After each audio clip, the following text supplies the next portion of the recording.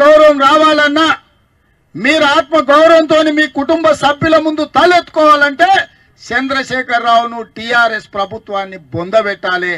అట్లా కాకుండా మీరు బాధపడ్డా మీరు సచ్చినా మిమ్మల్ని చూడడానికి కూడా మీ కుటుంబాన్ని పరామర్శించడానికి కూడా రాష్ట్ర ప్రభుత్వం ముందుకు రాదు.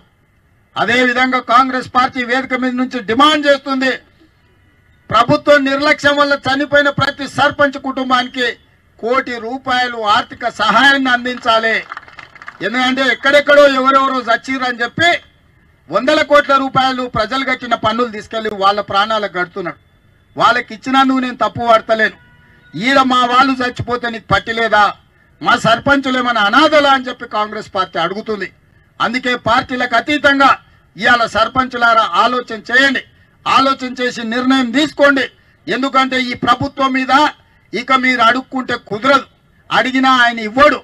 ఇక ఆయన మారడు కాబట్టి ఆయనను మార్చే సమయం వచ్చింది. గ్రామ గ్రామాన ఉండే సర్పంచులకు వార్డు మెంబర్లకు ఉప సర్పంచులకు ఎంపీటీసీలకు ఎంపీపీలకు జడ్పీటీసీలకు అందరికీ నేను విజ్ఞప్తి చేస్తున్నా. మారని చంద్రశేఖరరావు గారిని మార్చే శక్తి మీకుంది. మీ బలం మీకు తెలియట్లేదు మీరు అనుకుంటే మీ గ్రామంలో టిఆర్ఎస్ను బొంద పెడితే ఆటోమేటిక్గా కాంగ్రెస్ పార్టీ వస్తుంది. మీ సమస్యలకు పరిష్కారం చూపిస్తుంది. ఇక అడుక్కునేది మానండి. కొట్లాడి సాధించుకుందాం.